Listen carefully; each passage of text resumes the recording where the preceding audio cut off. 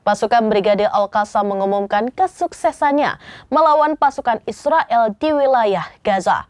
Mereka berhasil menghancurkan 13 tank milik Zionis dalam satu hari menggunakan senjata buatan Yasin 105.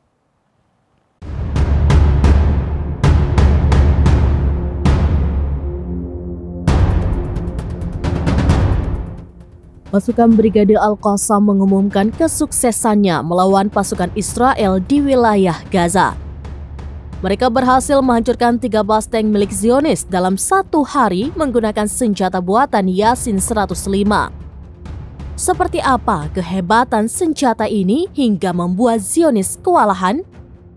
Menurut laporan Yemen Press Agency, peluru 105 atau 64 mm ini memiliki bobot 4,5 kg dan jangkauan destruktif 150 meter.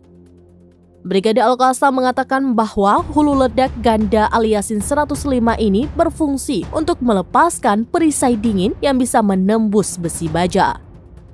Menurut laporan Jordan News, roket anti-tank itu sebenarnya berasal dari Rusia namun telah dimodifikasi oleh para insinyur Hamas sehingga mampu menghancurkan tank Merkava Israel yang sangat ditakuti. Senjata ini terbukti tidak pernah gagal melumpuhkan pasukan Israel.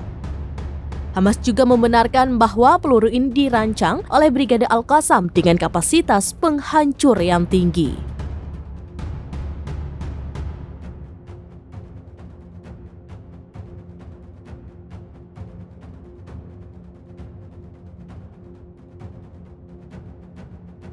Download Tribun X sekarang. Menghadirkan lokal menjadi Indonesia.